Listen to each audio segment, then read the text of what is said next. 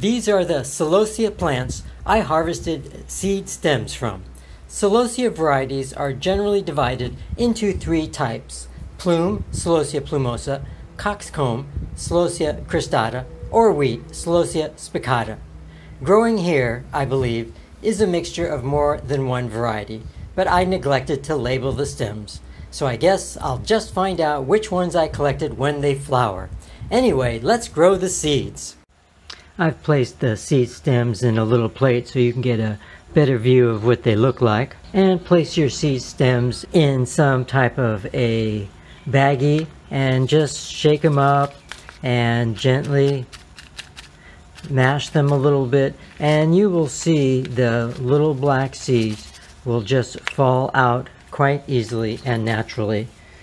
They're right here in the corner. The seeds are so small that I'm just going to sprinkle, I don't know, 20 seeds or so in there. Note, most websites recommend burying the seeds about one quarter inch, half a centimeter, below the soil. In this pot, I placed them on top, and in other starter containers, I buried them as recommended. And to be honest, I did not experience much of a difference in germination success rates. But to be safe, I suggest you cover your seeds with at least a thin layer of soil. And I'm putting them in a rather large uh, container. It's about six and a half inches wide. Normally you should leave about six inches between each plant.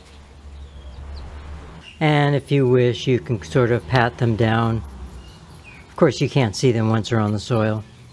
And if you live in a dry environment, you may wish to keep them in some kind of container that has a top so that they maintain a higher humidity level.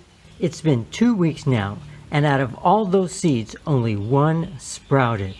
Very disappointing, and I'm really surprised too. I know you get a very low percentage, but this is terrible.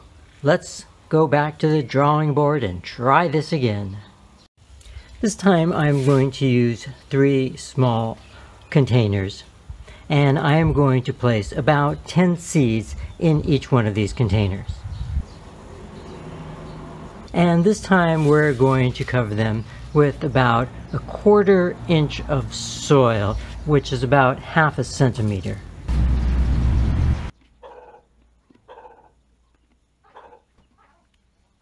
And looks like I've actually got two sprouts here.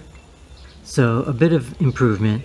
I think mainly this is a numbers game and you only get about one sprout for every 10 maybe 15 seeds so you really just have to put in a lot of seeds.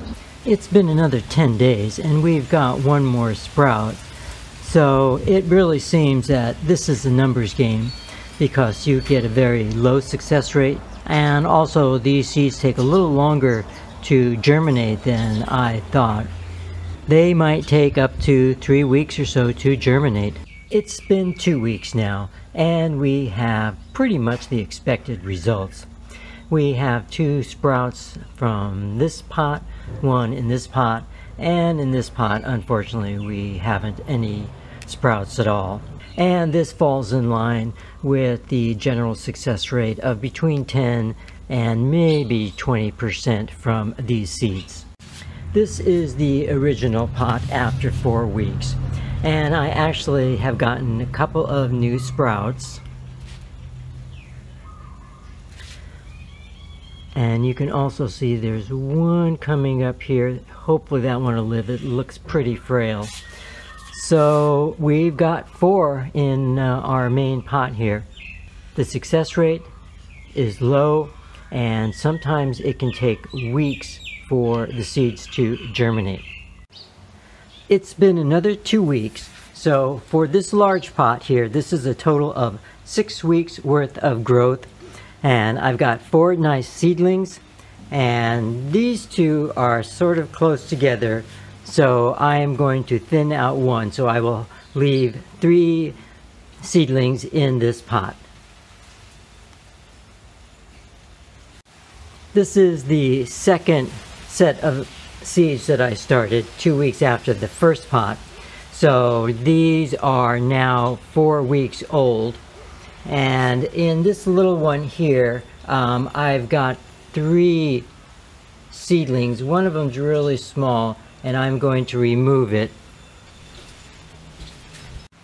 And I'm going to let these seedlings grow another couple weeks, and then I'm going to transplant them into a separate pot. So I will have three plants in another pot.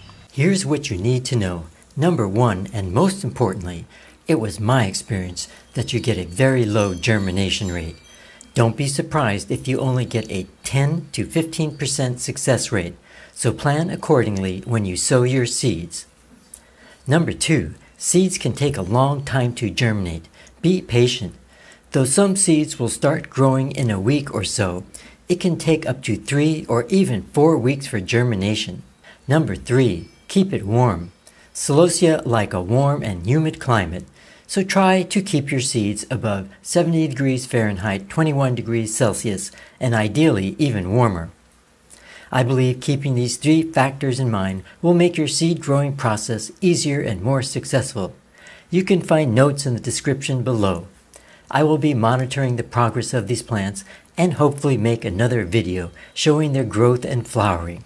Happy gardening! Click on the Community tab for updates and previews of upcoming videos. Click on the Playlist tab for videos grouped by subject. See ya!